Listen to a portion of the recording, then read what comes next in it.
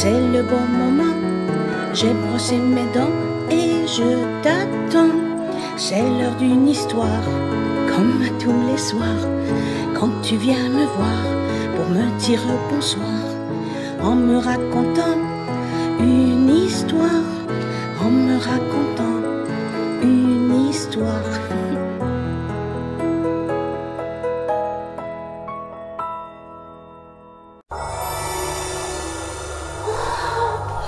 Je suis là, je suis là les amis. Oh, j'ai eu une semaine extraordinaire. Oui, imaginez, j'ai fait une course au trésor. Oh, c'est pas croyable. Tous les endroits où on peut, on peut cacher un trésor dans la maison, oui.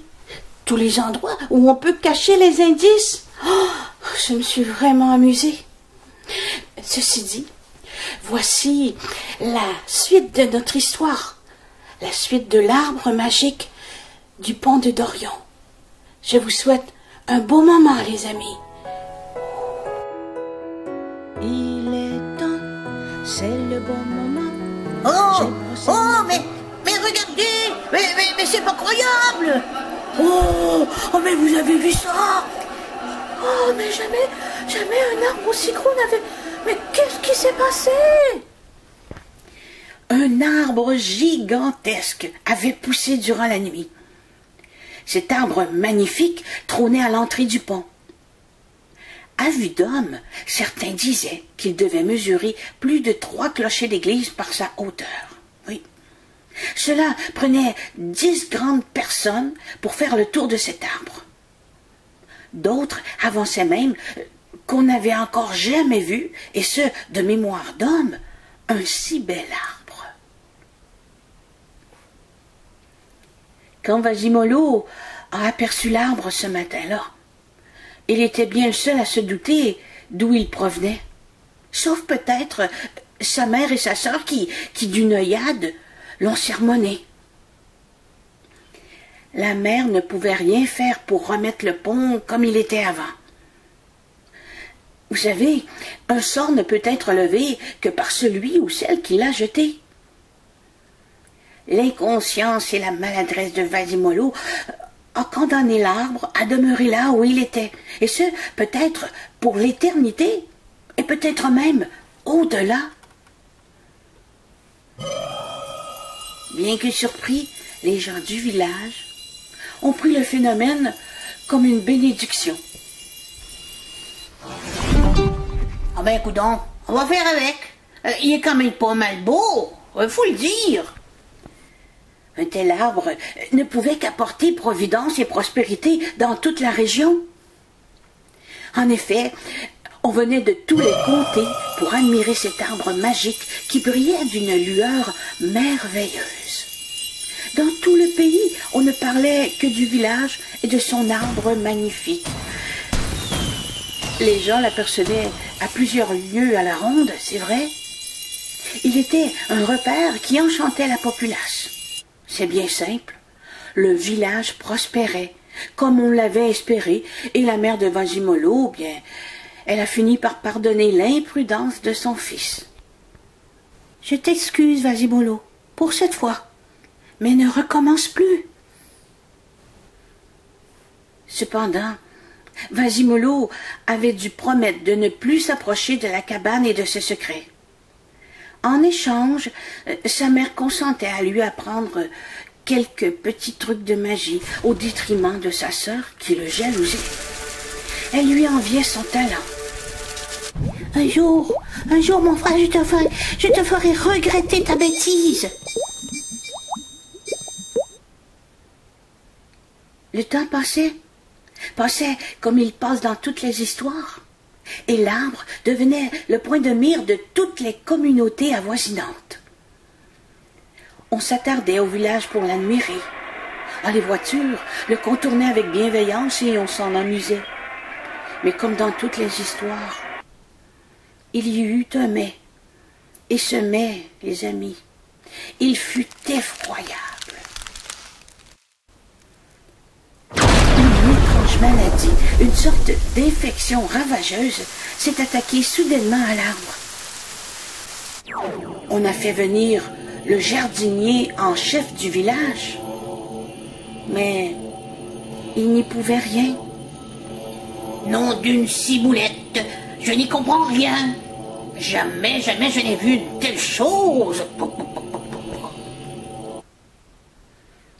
On a fait venir le docteur. Nom d'une varicelle, je n'y comprends rien. Jamais je n'ai vu une telle chose. Puis, un vétérinaire. Oh, nom de chien, je n'y comprends rien. Jamais je n'ai vu une telle chose. Rien à faire. L'arbre ne prenait aucun mieux-être. On s'adressa alors à la sorcière. Nom d'un ver de terre, moi qui suis sorcière, je n'y comprends rien. Pourtant, il doit bien y avoir une explication. Voyons donc. La sorcière n'y pouvait malheureusement rien. Bien qu'elle eût tout essayé, décoction, bouillie, poudre de perlimpinpin, tisane, rien n'y faisait. On aurait dit que quelqu'un ou quelque chose avait jeté un mauvais sort à cet arbre, maintenant en perdition. Au village, au village, on commençait à jaser. On disait qu'il fallait couper l'arbre, qui de toute évidence allait mourir s'il n'était pas déjà mort. On devait le couper avant que le vent ne le fasse tomber sur les passants et qu'il ne détruise le pont en entier. Moi, monsieur le maire, je dis qu'on devrait le couper sans plus tarder. L'autre jour, j'ai reçu une branche sur la tête. Tenez, regardez. Les usagers du pont étaient de plus en plus inquiets. Ils commençaient à ne plus vouloir le traverser. On n'envoie plus les enfants à l'école de peur, monsieur le maire, qu'une branche leur tombe sur la tête en traversant le pont. La frousse les tenaillait. Ils craignaient de se faire écraser par une énorme branche. Déjà, plus d'une avait tombé lors d'une tempête de vent. Les gens en avaient maintenant très peur. Cela n'aidait pas pour les affaires, ça c'est sûr. Monsieur le maire, faut faire quelque chose et ça presse. On n'a plus de clients. Les gens ont trop peur de traverser le pont. C'est bien certain qu'avant, on était bien content de le voir là, cet. Mais, là, ça fera. On a besoin de nos clients. On a besoin que nos clients viennent acheter. La sorcière s'opposait au projet d'abattre l'arbre, prétextant qu'elle finirait bien par trouver un remède pour le sauver et le guérir. Accordez-moi encore du temps. Tant qu'il reste une feuille verte sur l'arbre, on peut espérer.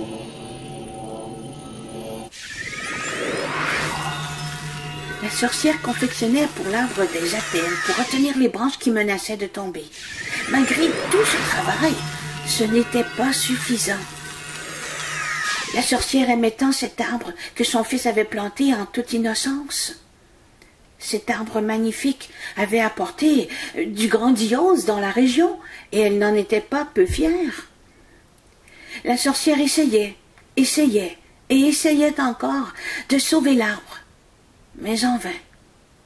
La sœur de Vasimolo, quant à elle, prenait plaisir de voir qu'enfin on couperait l'arbre.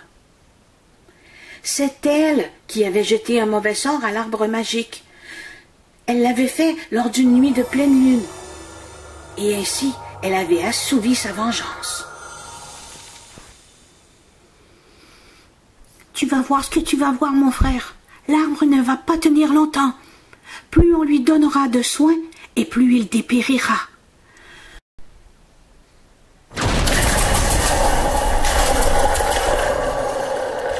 Ora termino Tony, vomi fadico, e torno debout.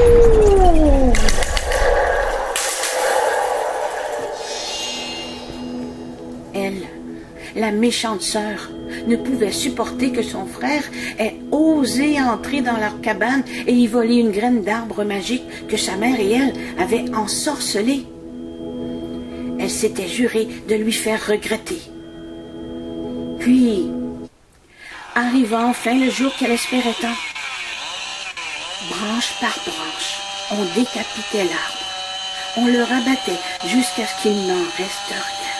La sorcière entra alors dans une colère. Elle allait leur faire regretter. D'un geste, elle a pris la main de Vasimolo et elle a proclamé tout haut, avec toute sa magie et ses pouvoirs ancestraux, que pour punir le village de couper l'arbre magique du pont, et s'en repentirait sur de nombreuses générations.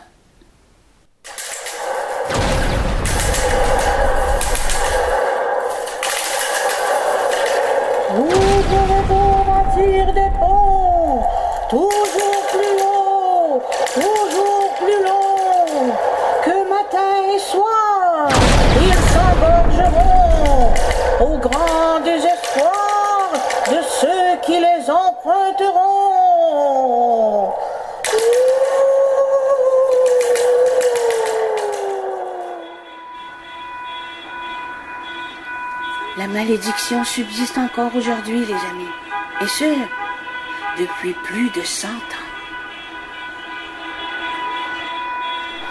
Mais là, je. Là, je comprends, les amis. Pourquoi les ponts de la région sont toujours encombrés le matin et le soir C'est à cause du mauvais sort que la sorcière a jeté. Oh, oh là là là là là. Elle l'a bien dit. Vous aurez beau bâtir des ponts toujours plus hauts, toujours plus longs que matin et soir ils s'engorgeront au grand désespoir de ceux qui les emprunteront. Oh là là là là là là. Mais j'y pense. J'y pense, les amis. Et si, et si on plantait des arbres? Oui, si on plantait des arbres, ça pourrait peut-être euh, rendre la sorcière de meilleure humeur et elle leverait son sort. Oui. Bon. Les amis, je vous laisse sur les dessins que les enfants de l'école Sainte-Madeleine ont dessinés. Et, et, moi, pendant ce temps-là, moi, je vais, je vais aller préparer tout ce que tout ce que j'ai de besoin. Oui, oui. Car cette semaine, les amis, je vais planter un arbre. Oui, je vais planter un arbre. Au revoir, les amis. Bonne semaine. Et je vous envoie de l'arc-en-ciel. Sont de bons amis. Fa et sol. Bisous. Avec eux, on rigole et le là, il nous berce dans ses bras, et avec si, jamais on s'ennuie, puis revient le dos, car c'est l'heure du dodo. Pour et mi sont de bons amis, fa et sol, avec eux on rigole, et le là, il nous berce dans ses bras, et avec si, jamais on s'ennuie, puis revient le dos, car c'est l'heure du dodo. Puis revient le dos, car c'est l'heure du dodo.